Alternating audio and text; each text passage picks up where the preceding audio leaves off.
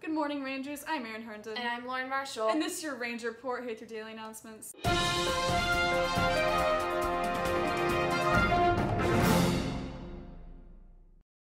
Hey, you patriotic citizens! If you are 18 years of age and have not yet registered to vote, please stop by the table in the senior dining hall and fill out a voter's card. This Tuesday afternoon will be the first chemistry club meeting of the year.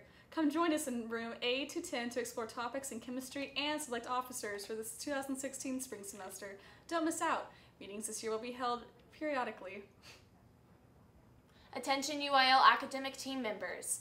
This Saturday, you will be attending the MacArthur Invitational Meet, so be sure to pick up a permission slip and confirm with your entry your entry with Miss Nipper in room D210 as soon as possible.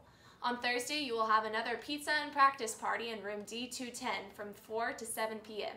Try to bring a little cash to help pay for the pizza. FACTS will be collecting canned goods and non-perishable items through Friday, February 5th. Donations will be taken to the Hope Center Food Pantry.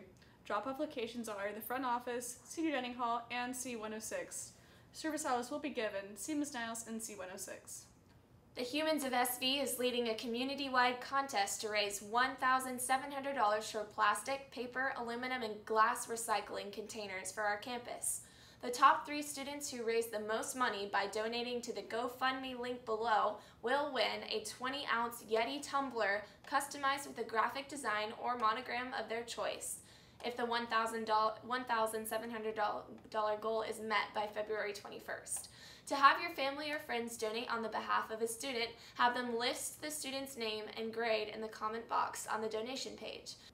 Students wishing to take culinary arts for the 2016-2017 school year, please see Chef Deloach in the culinary kitchen for an internet application.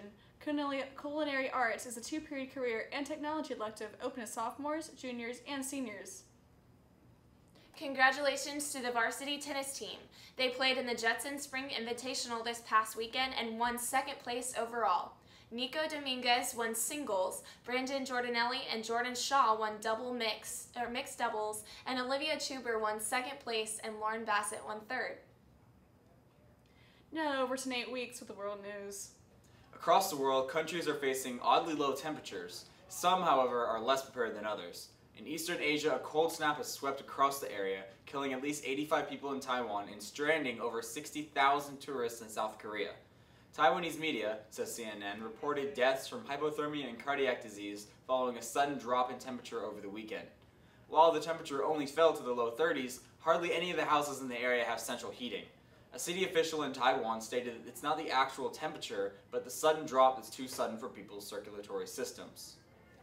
News organizations and health professionals across the world are proclaiming warnings of the recently popularized Zika virus, a virus that has the capability to spread all across the Americas.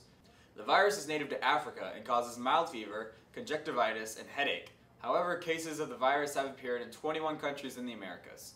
The lack of a natural immunity in the Americas, says CNN, is thought to be helping the infection spread rapidly. I'm Nate Weeks, and that's what's trending around the globe. Thank you, Nate. So why did the banana continuously fail his driver's test? Why? He just kept peeling out. this has been your Ranger Report here through Daily Announcements. Have a great day.